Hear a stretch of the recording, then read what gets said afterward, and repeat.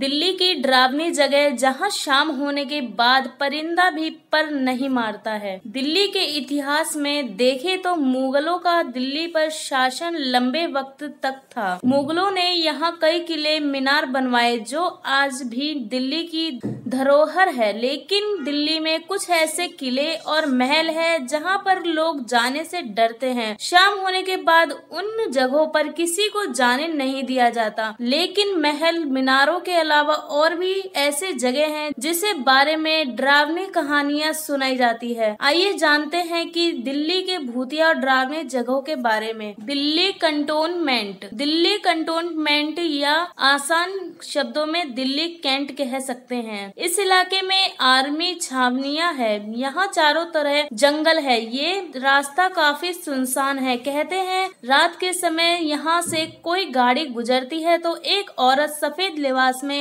आपसे लिफ्ट मांगती है। अगर आप गाड़ी नहीं रोकते तो वो गाड़ी का पीछा थोड़ा दूर तक भाग कर करती है। इस ड्रावनी महिला की गति, गाड़ी जितनी होती है। आपको बता दें कि सफ़ेद लिबास वाली महिला को देखने की पृष्टि कई लोग कर चुके हैं, लेकिन आज तक किसी जान माल के हानि की खबर नहीं आई। फिरोज शाह कोटला किला। मुगल बादशाह फिरोज शाह तुगलक ने इस किले को बनवाया था, लेकिन ये किला आज खंडर हो चुका है। इस किले को लोग भूतिया किला कहते हैं, क्योंकि आसपास के लोगों ने बताया कि यहाँ गुरुवार को शाम में मोमबत्तियाँ और अगरबत्तियाँ जलती दिखाई देती हैं। दूसरे दिन किले में कटोरे में दूध और कच्चा अनाज भी रखा दिखाई देता है। ये घटनाएँ अक्सर होती हैं, इसको अभी तक समझा नहीं जा सकता है। क्योंकि ये किला शाम को बंद हो जाता है तो रात में ऐसा कौन करता है, इसी के चलते इस किले को भी भूतिया किला कहा जाने लगा है। खूनी नदी रोहिणी रोहिणी का खूनी नदी इलाका काफ़ी सुनसान है। यहाँ बहुत कम लोग आते हैं। नदी के आसपास कोई नहीं जाता। केवल पुलिस यहाँ चक्कर मारती रहती है।